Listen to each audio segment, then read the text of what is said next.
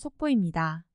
이틀 전 3월 28일 화요일에 중국 허베이성 싱타이시 린청현에서 또다시 규모 2.3의 지진이 발생을 하였으며 다음 날인 3월 29일 수요일에는 중국 광둥성 허산에서 규모 3.4의 지진이 발생을 하였으며 오늘 3월 30일 목요일에는 중국 신장 악수현에서 규모 3.1의 지진이 발생을 하였습니다.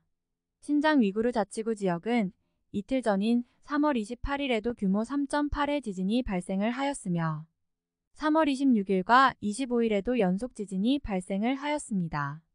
또한 허베이성에서는 3월 11일부터 3월 28일까지 8번의 지진이 발생하였습니다. 이것은 무엇을 의미하는 것일까? 1976년 허베이성 탕산시에서 규모 7.8의 강진으로 인하여 24만 명이 사망했던 아픈 기억을 가진 중국에게 허베이성은 탕산시는 언급조차 하기 싫은 지역입니다만 하지만 3년 전인 2020년 7월 12일 오전 6시 38분에 중국 허베이성 탕산시에서 또다시 규모 5.1 진원의 깊이는 10km의 강력한 지진이 발생을 했습니다.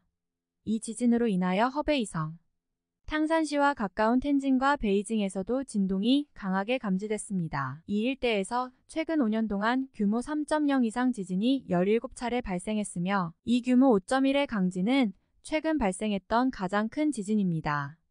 그런데 그 허베이성에서 최근 3월 11일부터 28일까지 8번의 지진이 발생을 하고 있는 것입니다.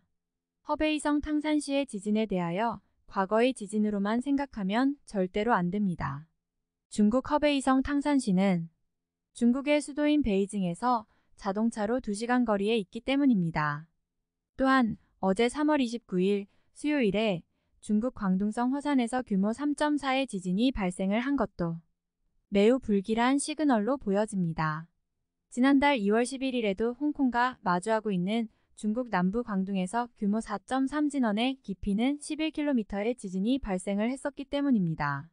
이 지진은 157km 거리에 중국 광동성 광저우에서도 강한 진동이 감지됐습니다.